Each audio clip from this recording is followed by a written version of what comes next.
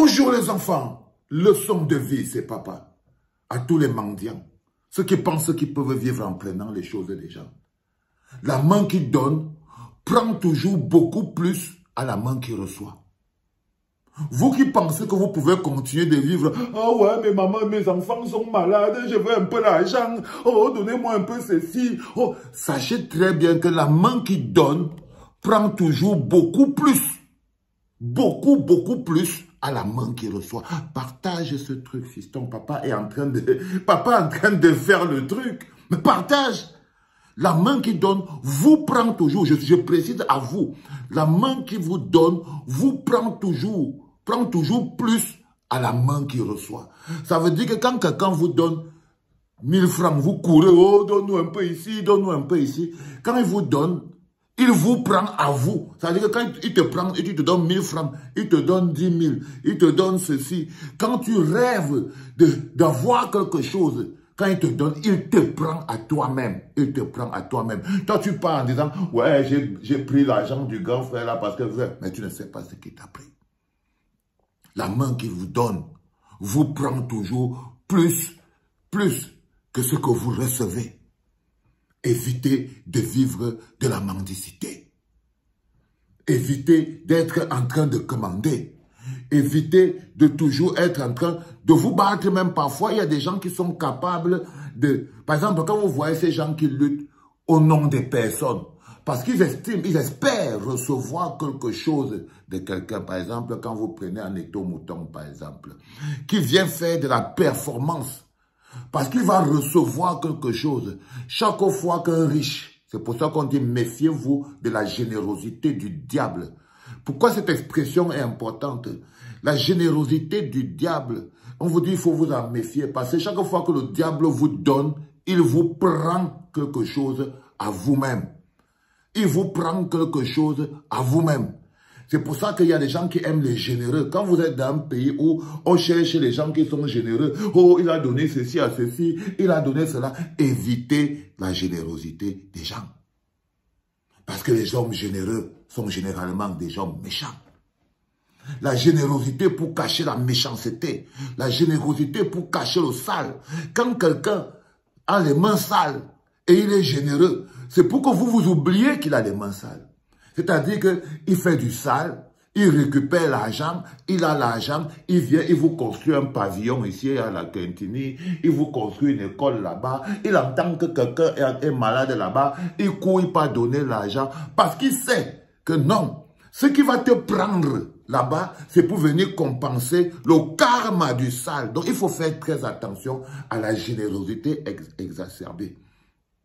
Les enfants, je ne vous dis pas qu'il ne faut pas être généreux et je ne vous dis pas qu'il ne faut pas, mais je sais qu'aujourd'hui, par exemple, pour qu'on construise une société de Chinda, comme la société comme on a au Cameroun, c'est une société Chinda, c'est parce qu'en fait, il y a beaucoup de gens qui vivent de la générosité des autres.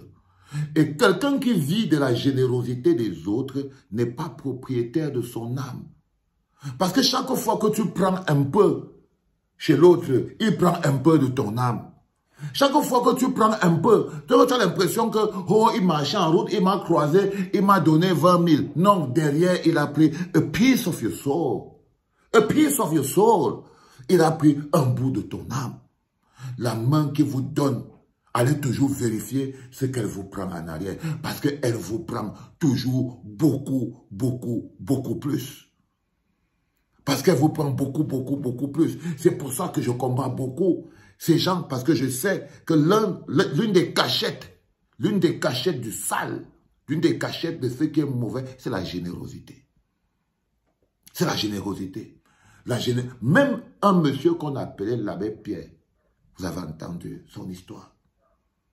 La main qui donne prend toujours beaucoup plus qu'elle ne donne. Elle prend toujours un bout de vous, un bout de votre esprit, un bout de votre âme, un bout de votre cœur. C'est-à-dire que vous voyez une jeune fille, aujourd'hui elle se lève, elle voit un répé, le répé lui donne 50 000, 100 000, elle prend cet argent, elle part Et Parfois c'est l'argent euh, du mboma, non? Parfois, le repas, l'argent que ça sort, le mboma, le mboma. Elle prend, elle donne à la fille, tant toi, prends, va avec. Mais la fille, elle prend, elle court, elle part avec ça dans sa maison. Voilà comment le répé il, prend chez elle, même les mamans, ses, frères, ses cousines, qui, qui mangent cet argent au quartier là-bas, le type prend ça dans le bouma ici. On dit, oh, quand il entre dans la maison, il farote. Tu entends seulement que le type est toujours là. Mais vous, vous êtes malade chez vous. Vous tombez. Vous êtes malade. Vous oubliez que non.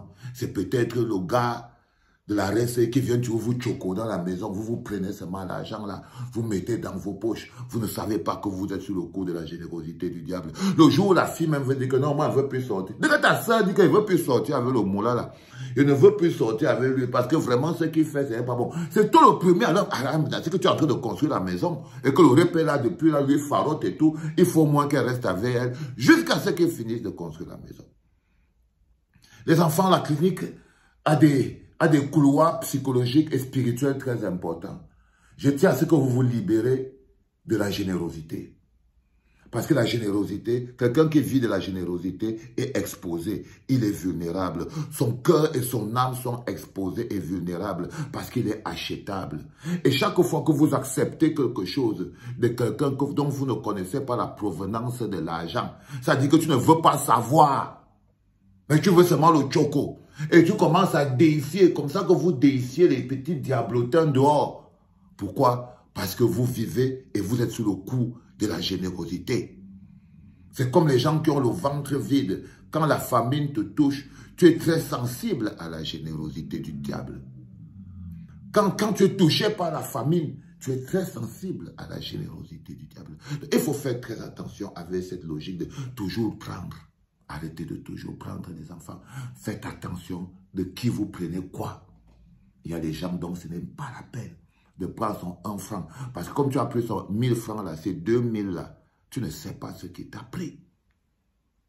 Tu ne sais pas ce qui t'a pris. Tu viens de comprendre le message que je viens de t'envoyer, ma fille. Surtout toi. Quitte ce monsieur. Quitte ce monsieur Va vivre ta vie. Ne reste pas avec un homme. Regarde les maladies que vous avez dans la maison. Qu'est-ce qui te fait croire que non, ce n'est pas le prix de tout le choco qu'il vient donner chez vous là? Qu'est-ce qui te fait croire ça? Tu connais la provenance de sa fortune? Vous prenez seulement, vous prenez seulement, vous prenez seulement. Et puis après, les conséquences. Les conséquences, vous ne les. Parfois, vous voyez une famille, elle se sépare, elle se divise. Oh, je ne veux plus, vous ne savez pas que non. Quelqu'un est entré, il est venu. C'est sa générosité qui lui a donné le pouvoir. Vous voyez les frères qui partent faire le Congo ça chez un étranger qui ne connaissent pas. Parce que c'est lui qui a l'argent et qui épouse la sœur. Ils font même le commérage contre la sœur même. C'est-à-dire que le gars est contre sa sœur qui a marié le type qui fait la générosité du diable. Il fait le complot contre sa sœur avec le mari. Le mari qui a les dos. Quand la la sœur, sa sœur même ne veut plus. Vous avez capté, tu as capté, vous me faites faire parfois des podcasts un peu bizarres, mais je sais que parfois j'ai besoin de toucher le côté spirituel de vos vies.